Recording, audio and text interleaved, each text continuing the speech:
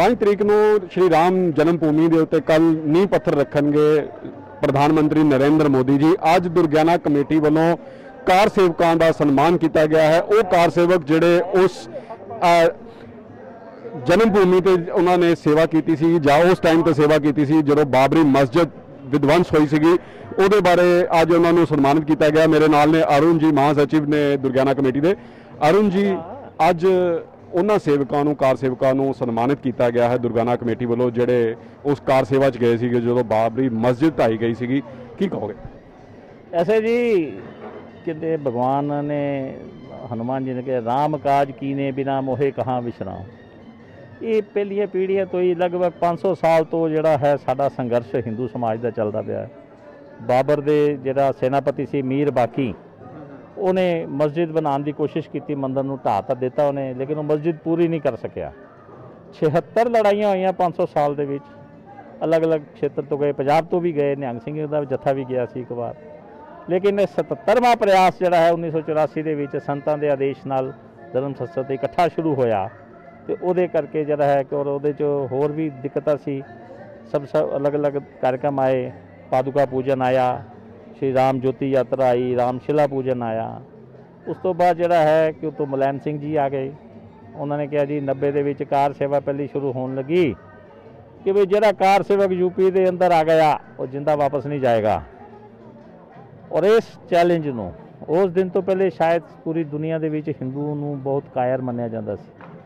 ਔਰ ਉਹ ਇੱਕ ਟਰਨਿੰਗ ਪੁਆਇੰਟ ਸੀਗਾ ਕਿ ਲੋਕ ਗਏ 8 ਲੱਖ ਲੋਕ ਘਰਾਂ ਤੋਂ ਬਿਲਕੁਲ ਕਿ ਸ਼ਾਇਦ ਵਾਪਸ ਨਾ ਆਈਏ ਮਿਲ ਜੁਲ ਕੇ ਗਏ। ਔਰ ਉਸ ਤੋਂ ਬਾਅਦ ਸਭ ਨੇ ਦੇਖਿਆ ਕਿ ਹਿੰਦੂ ਜੋ ਕਹਿੰਦਾ ਉਹ ਕਰ ਸਕਦਾ ਹੈ। ਕਾਨੇ ਵਿੱਚ ਵੀ ਕਾਰ ਸੇਵਾ ਵਾਸਤੇ ਗਏ, ਸੰਘਰਸ਼ ਹੋਇਆ।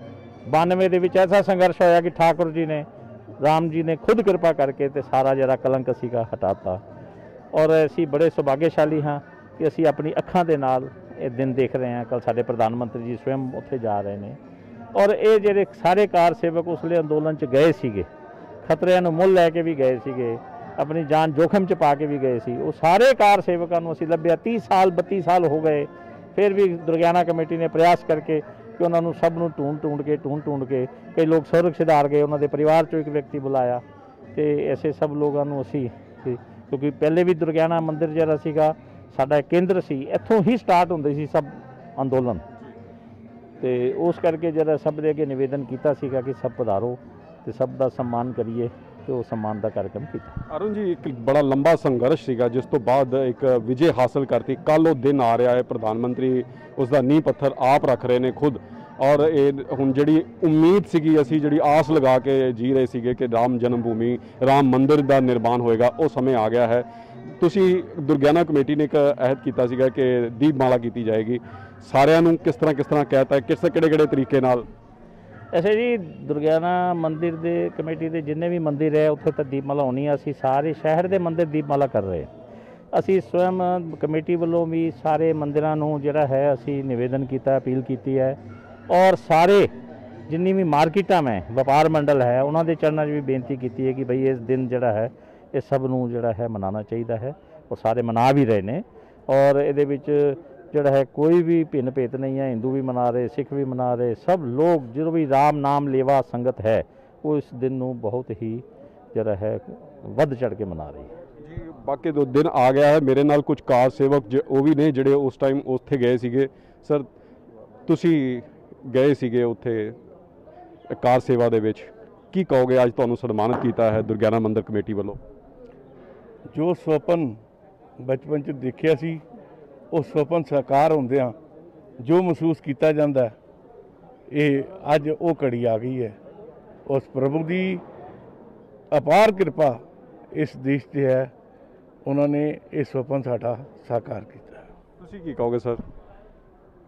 ਰਾਮਚਰਿਤਰ ਮਾਨਸ ਦੇ ਅੰਦਰ ਹਨੂਮਾਨ ਜੀ ਦੀ ਇੱਕ ਹਨੂਮਾਨ ਚਾਲੀਸਾ ਦਾ ਸੰਕਟ ਮੋਚਕ ਆਂਦਾ ਉਸ ਸੰਕਟ ਮੋਚਨ ਦੇ ਵਿੱਚ ਜਿਹੜੀਆਂ ਪਹਿਲੀਆਂ ਪੰਕਤੀਆਂ ਨੇ ਉਹ ਨੇ ਬਾਲ ਸਮੇਂ ਰੇ ਵਿਭਕਸ਼ ਲਿਓ ਤਬ ਤੀਨ ਹੂੰ ਲੋਕ ਭਇਓ ਅੰਧਿਆਰੋ ਤਹੀਂ ਜੋ ਤਰਾਸ ਭਇਓ ਜਗ ਕੋ ਜੇ ਸੰਕਟ ਕਾਹੂ ਸੁਜਾਤ ਨਾ ਟਾਰੋ ਦੇਵਨ ਆਣ ਕਰੀ ਬਿਨਤੀ ਤਬ ਛਾੜ ਦਿਓ ਰ ਵਿਕਸ਼ਟ ਨਿਵਾਰੋ ਕਉ ਨਹੀਂ ਜਾਣਤ ਹੈ ਜਗ में ਕਭੀ ਸੰਕਟ ਮੋਚਨ ਨਾਮ ਤਿਹਾਰੋ 6 ਦਸੰਬਰ 1992 ਇਹ ਉਹ ਸਮੇਂ ਸੀ ਜਦੋਂ ਸਵੈਮ ਹਨੂਮਾਨ ਜੀ ਨੇ ਅੱਗੇ ਲੱਗ ਕਰਕੇ ਮਾਨਵ ਰੂਪ 'ਚ ਆਪਣੇ ਸਹਿਯੋਗ ਦੇ ਨਾਲ ਉਸ ਕਲੰਕ ਨੂੰ ਧੋ ਦਿੱਤਾ ਅੱਜ ਜਦ ਰਾਮ ਜਨਮ ਭੂਮੀ ਦੇ ਉੱਤੇ ਭਵਯ ਮੰਦਿਰ ਦਾ ਨਿਰਮਾਣ ਹੋ ਰਿਹਾ ਹੈ ਮੈਨੂੰ ਇੱਕ ਗੱਲ ਦਾ ਸਿਰਫ ਦੁੱਖ ਹੈ ਕਿ ਹਿੰਦੂ ਸਮਾਜ ਦਾ ਜਿਹੜਾ ਸਭ ਤੋਂ ਵੱਡਾ ਸਾਡਾ ਜਿਹਨੂੰ ਅਸੀਂ ਧਰਮ ਗੁਰੂ ਮੰਨਦੇ ਹਾਂ, ਜਗਤ ਗੁਰੂ ਸ਼ੰਕਰਾਚਾਰੀਆ, ਸਵਾਮੀ ਸੁਭਰੂਪਾਨੰਦ ਮੈਂ ਇਹਨਾਂ ਨੂੰ ਵਿਅਕਤੀ ਕਵਾਂਗਾ ਇਹ ਜਗਤ ਗੁਰੂ ਨਹੀਂ ਹੈ। ਇਹਨਾਂ ਦਾ ਇੱਕ ਇੱਕ ਪੈਸੇ ਦਾ ਸਹਿਯੋਗ ਰਾਮ ਜਨਮ ਭੂਮੀ ਦੇ ਅੰਦੋਲਨ ਦੇ ਵਿੱਚ ਨਹੀਂ ਹੈ। ਔਰ ਅੱਜ ਉਹ ਵਿਅਕਤੀ ਜਦੋਂ ਧਰਮ ਦੀ ਸਭ ਤੋਂ ਉੱਚੀ ਸਿੰਘਾਸਨ ਤੇ ਬੈਠੇ ਨੇ, ਗੱਦੀ ਤੇ ਬੈਠੇ ਨੇ ਅੱਜ ਉਹਨਾਂ ਨੂੰ ਇਹ ਗੱਲ ਮਹਿਸੂਸ ਹੋ ਰਹੀ ਹੈ ਕਿ ਭਗਵਾਨ ਰਾਮ ਦਾ ਕਾਜ ਹੋਣ ਜਾ ਰਿਹਾ ਹੈ ਤੇ ਮੈਂ ਉਹਦੇ ਵਿੱਚ ਨਹੀਂ ਆ ਔਰ ਇਹਨਾਂ ਲੋਕਾਂ ਨੇ ਜੋ ਕੁਝ ਕੀਤਾ, ਜੋ ਇਹਨਾਂ ਨੇ ਅੜਚਨਾ ਪਾਈਆਂ, ਅੱਜ ਪ੍ਰਭੂ ਨੇ ਆਪਣੀਆਂ ਅੜਚਨਾ ਸਵਯੰ ਦੂਰ ਕੀਤੀਆਂ ਨੇ ਔਰ ਭਵਯ ਮੰਦਿਰ ਦਾ ਨਿਰਮਾਣ ਹੋ ਰਿਹਾ ਇਸ ਤੋਂ ਵੱਧ ਖੁਸ਼ੀ ਹਿੰਦੂ ਸਮਾਜ ਨੂੰ ਕੋਈ ਨਹੀਂ ਹੋ ਸਕਦੀ ਔਰ ਕਦੇ ਨਹੀਂ ਮਿਲ ਸਕਦੀ ਕਿਉਂਕਿ ਸਾਡਾ ਜਨਮ ਰਾਮ ਤੋਂ ਹੈ ਔਰ ਸਾਡਾ ਮਰਨ ਰਾਮ ਤੋਂ ਹੈ। ਇਸ ਕਰਕੇ ਰਾਮ ਆਇਆ ਰਾਮਚੰਦਰ ਭਦਰਾਇਆ ਸ਼੍ਰੀ ਰਾਮ ਆਇਆ ਨਮਾ। ਸੋ ਦੁਰਗਿਆਨਾ ਮੰਦਿਰ ਕਮੇਟੀ ਵੱਲੋਂ ਅੱਜ ਉਹਨਾਂ ਕਾਰ ਸੇਵਕਾਂ ਨੂੰ ਸਨਮਾਨਿਤ ਕੀਤਾ ਗਿਆ ਹੈ, ਜਿਨ੍ਹਾਂ ਨੇ 1992 ਦੇ ਵਿੱਚ ਬਾਬਰੀ ਮਸਜਿਦ ਢਾਈ ਸੀਗੀ ਔਰ ਇਸ ਨੇ- ਇਸ ਮੰਦਿਰ ਦੇ ਨਿਰਮਾਣ ਦੀ ਇੱਕ ਨੀਂਹ ਰੱਖੀ ਸੀਗੀ ਉਸ ਵੇਲੇ। ਕਾਫੀ ਲੰਬੇ ਸੰਘਰਸ਼ ਤੋਂ ਬਾਅਦ ਹੁਣ ਵੇਲਾ ਆ ਗਿਆ ਹੈ।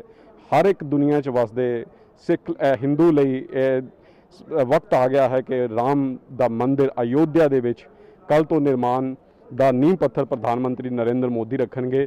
ਉਸ ਤੋਂ ਪਹਿਲੇ ਅੱਜ ਦੁਰਗਿਆਨਾ ਕਮੇਟੀ ਵੱਲੋਂ, ਕਿਉਂਕਿ ਕਾਰ ਸੇਵਾ ਜਦੋਂ ਵੀ ਚੱਲਦੀ ਰਹੀ ਹੈ ਦੁਰਗਿਆਨਾ ਮੰਦਿਰ ਤੋਂ ਹੀ ਇਹ ਕਾਰ ਸੇਵਕ ਆਉਂਦੇ ਰਹੇ ਨੇ। ਕਾਰ ਦੁਰਗਿਆਨਾ ਕਮੇਟੀ ਨੇ ਅੱਜ ਕਾਰ ਸੇਵਕਾਂ ਨੂੰ, ਉਹਨਾਂ ਕਾਰ ਸੇਵਕਾਂ ਨੂੰ ਸਨਮਾਨਿਤ ਕੀਤਾ ਹੈ, ਜਿਹੜੇ ਵਿਚਾਰੇ ਸਵਰਗ ਸਿਧਾਰ ਗਏ ਨੇ, ਉਹਨਾਂ ਦੇ ਪਰਿਵਾਰਾਂ ਨੂੰ ਸਨਮਾਨਿਤ ਕੀਤਾ ਹੈ, ਜਿਹੜਾ ਨੇ ਉਸ 1992 ਦੇ ਸੰਘਰਸ਼ ਦੌਰਾਨ ਯੋਗਦਾਨ ਪਾਇਆ ਸੀਗਾ ਔਰ ਆਪਣੀ ਜਾਨ ਵੀ ਨਿਸ਼ਾਵਰ ਕੀਤੀ ਸੀਗੀ।